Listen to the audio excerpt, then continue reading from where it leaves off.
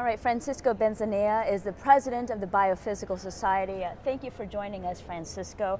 Uh, what are the major themes for the 2014 meeting? Well, you know, the society has always com common themes that don't change along the way, but this year we have emphasized a few ones, like for example, molecular motors, not only in vitro but in cold cell functioning, then personalized medicine, for example, then I'm, i have a few things that I have written here. Biophysics in industry is another thing that we're emphasizing.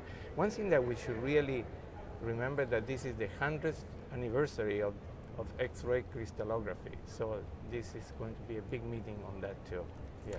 And as president, I know that making improvements is important to you. What mm -hmm. changes to the annual meeting are you excited about, and how have you been getting society members more engaged and involved? Yeah, one of the, the way we do it is that we restructure essentially every year, this year in particular, the, the way that we, um, we put the themes of the different symposium and workshop to coincide with the abstract that the people are um, sending. So that way we in, in, increase the pool of people and that way we bring people who have never been involved in the society before. So that's one of the way we do it. And this is done every year because this is a constant evolving situation. Biophysics, biophysics is really changing all the time. Yeah. That's fantastic, Francisco. Now, as president and a native of Chile, I know the international component of this meeting is important for you, obviously. Now, tell us why it's important and outreach to attendees all across the world. Well, you know, the, this is the largest biophysics meeting in the world, the one here, the annual meeting mm -hmm. of the Biophysical Society. And one has to consider that um, the society has 36% of the membership is actually from abroad.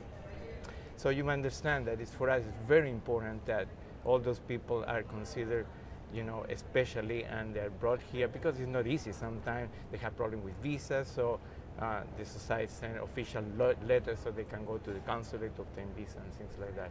So we think that the, the, the importance is not only to come to the meeting, but also in the participation of the governance of the society. We have several people who are from abroad, and we continue striving in that direction. And Francisco, as outgoing president of such a prestigious organization, what advice do you have for upcoming scientists, and why was it important for you to take such a big role in the organization? Well, uh, let me let me say first that the, it's not such a big role because, uh, in fact, the um, the society is a very well-oiled machine in the sense that it's a council and we have administrators there that really take care of everything.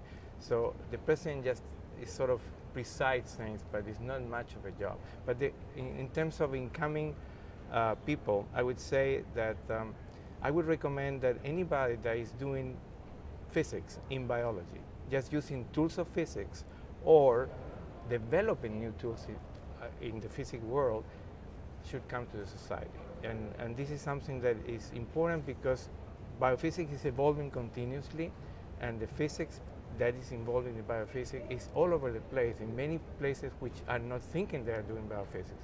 So I encourage them to join the society and also to come to the meeting.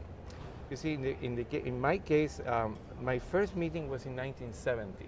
And uh, since then, I have come to every single one. I have learned so much, and I have interacted so much with the people that I thought that I had to give something back. That, that's why I took the presidency. Yes, sir. Francisco Bezanilla, thank, thank you. you. so much for joining You're us. welcome.